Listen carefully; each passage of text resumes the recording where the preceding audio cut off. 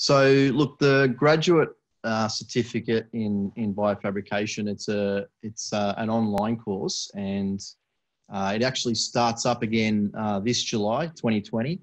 And you can go to that link there, um, and that'll send you to the the course finder, the UOW site, where you can get all the information uh, on the course and apply for it. Um, so we also have this uh, masters there. You can see that with the link. Um, that's a, a, course that just that involves a research project, a thesis, and um, but I'm not really going to talk about that today. So really, the purpose is to give you information about this graduate certificate in biofabrication. So it has two um, subjects, and each one runs for about 13 weeks. Uh, they're delivered online via the Moodle platform. Um, and the first, the subjects are there in bold. The first one is the AIM 900. It's Introduction to Biofabrication, and that runs in the spring session. And, and the second one is Practical Learning and Training in Biofab, Biofabrication, that runs in the autumn session. So, as I mentioned, um, the next intake is uh, July 27th, starting with that first subject. Uh, and the link to the course finder there. Uh, look, the information there, you can get things like the course outline, the fees, uh, and again, the, the um, application can be submitted. Uh, the way in which uh, this course was developed was um, quite unique, actually. And it was put together by the researchers uh, in our institute um, who work on um, biofabrication, and it was done in collaboration with the UOW uh, education faculty. The content was uh, structured uh, in a way where it was presented as case studies um, on the research and, and programs that are being undertaken um, within ACES and within our institute. Um, and many of them, um, uh, many of those projects are directed by the uh, clinicians and surgeons. And again, the graduate certificate, it's, it's it's online and coursework only. But with that, uh, you can use it as a, a pathway to our masters uh, in biofab. And again, that's where you know if someone's interested in going on and doing a, a research project and working in the labs, um, they can um, go on and apply for that degree. One other point on the masters is that we do have this option for a double degree, um, where we've partnered. Um, with a couple of overseas universities, and you can spend time over there doing a project and then you can be awarded a degree from UOW and one of our partner universities. Here's a look at the uh, the Moodle platform or dashboard. If you were going to get, log in and and uh, start one of the subjects, um, and really, I don't know who's if you've had anyone here's had experience with Moodle or done a subject in Moodle.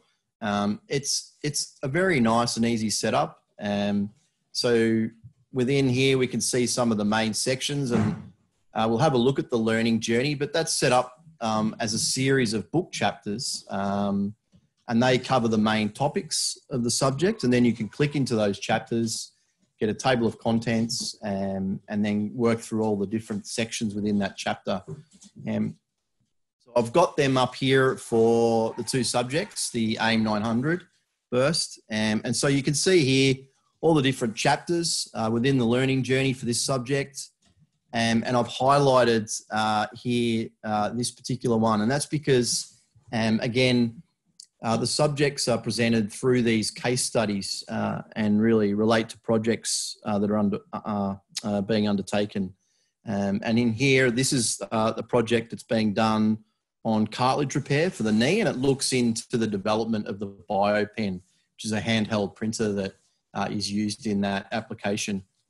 Um, so we have these case uh, studies, but also, you know, you can see some of these other topics if you have a look down there. You know, we also cover, you know, some of the main principles of biofabrication, like the hardware, the printers, the materials, and the bioinks, and also the biological aspects like the printing um, of the cells. But I think the really nice thing here is that um, we can get the students to reflect on that back to these uh, real um, applications and case studies. The other um, thing that we've done is we've attached two themes to both, we've attached a, a theme to um, these subjects. And in this case for AIM 900, there's also this theme on ethics and regulatory considerations. And so uh, throughout that uh, subject, there's various content and activities that students have to do. And, you know, we think that these themes are, uh, then the other one, it's collaboration, you'll see in a minute. Um, and these two themes, um, you know, outside of this normal content, we feel are, are uh, important um, in this, uh, you know, in this uh, area. So 901, um, you can see here if you want to, if you have a look through, this actually um, comprises um, some more of the case studies, really representing um, the projects that are underway. And it'd be remiss of me if I didn't put a big yellow highlight here um, around the ear, um, which features prominently in this subject. And, and so, again, uh, our attached theme uh, is around building collaborations and, and working as teams uh, and the need to work as teams within biofabrication research. Um, and I, yeah, I, I, think that, I mean, this is really just a, a brief overview, but, um, you know, I think the way in which it's been put together by researchers and the education faculty and presented through these uh, case studies, I think the, the subject content, you know, really is um, you know, represents latest advances in biofabrication and uh, we feel really provides a really nice um, learning experience for the students. And so I'm going to finish off with my last, uh, with a slide here. Again, um, focusing on the ear. So there's a, a number of assessment activities, uh, assessments and various other non-assessed activities there's a couple of main ones, and this relates to one of those main ones uh, where the students start to learn about um, extracting 3D models from medical images. And in the, you can see down there on the right, we've, we would have gone into the, the book chapter on the ear, and there's a whole, you can see all the content and table of contents within there. And as part of that, there's a section on um, uh, model, using uh, modeling software and extracting these models uh, from uh, images. And in this case, uh, the year is used as a, a bit of a, a, test run for the students, um, where they we, where they learn how to use the different types of software, um, and then once they've completed the year, the next uh, uh, chapter is around uh, is an assessed activity, uh, looking at doing similar types of processes um, using software and images around a mandible jaw, and so this is a really nice, uh, the year provides a really nice uh, introduction to this um, activity. Right, so that's pretty, that's really all I've got. Um, but I forgot to put one last slide up there. Uh, so I'm gonna stop sharing for a moment, but then I'll, I wanna put something else up. A little bit more time. Where are we here? So this is really the acknowledgements, I'd have to say. Um, it's like the rolling credits, literally, because I'm going to have to scroll down. You can see who's who we've got to acknowledge. So, um, but this is really the teaching team. Um, these are the people that are involved. These are the people that put it together, um, and even they log on to Moodle and and help out uh, during the course. So we've got Gordon, myself. There we go. So Steve. So this is what you would the students would see when they clicked onto the teaching team. They can directly get their emails and and contact them. Uh, Zhao, uh, Johnson, Ali, and Jerome's not with us anymore. Uh, Jeremy, Eva, Kalani, and I can't forget. There we go. Oh, hang on. Where are we here? Oh, maybe this one. Yes. And these two fellas, Sanjeev and Separa, who, who spoke today already. So thanks to um, everyone involved in, in, in putting that course together. And, and this is the, I think that's, uh, if anyone has anything, any questions or, you know, um, I'm, I'm very happy to, to answer. Thank you.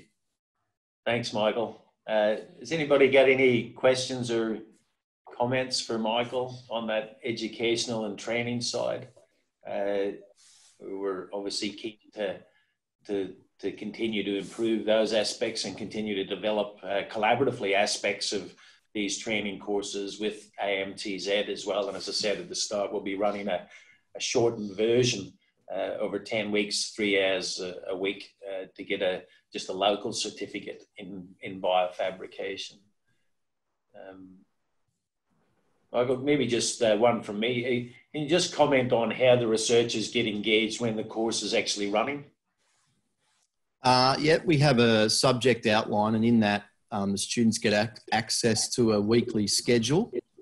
Uh, within that schedule, uh, you know, kind of lists the the main chapters um, during that period of time, um, and then we we then add in the contact details of the different people involved, the researchers that are involved, and they then can go on and um, contact those uh, the researchers and the teaching team, and and you can yeah, and and the research the teaching team also um, log into Moodle and can also you know introduce themselves um, and and answer any questions the students have in the forums in Moodle. Yeah, brilliant. And uh, I, I, noticed Kai's got a comment there on the chat. We should follow up on that, Kai. Always looking to introduce new aspects, and that's uh, uh, around an educational video to teach users how to do the 3D scanning. Uh, I'm not sure if that's something we've got in there at the moment, but we'll, we'll chase that up with you, Kai. All right, well, thanks again, Michael.